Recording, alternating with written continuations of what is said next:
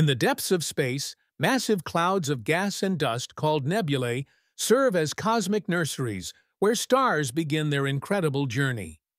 Gravity pulls these cosmic materials together, forming dense clumps that grow increasingly hot and bright as they compress.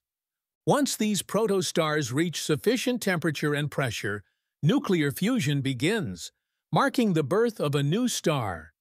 For billions of years, stars like our Sun maintain a delicate balance between gravity, pulling inward, and fusion pushing outward.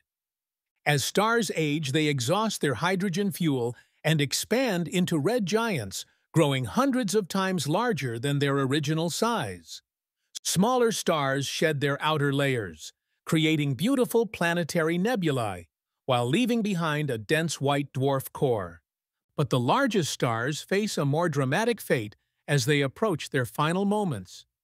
These massive stars end their lives in powerful supernova explosions, briefly outshining entire galaxies.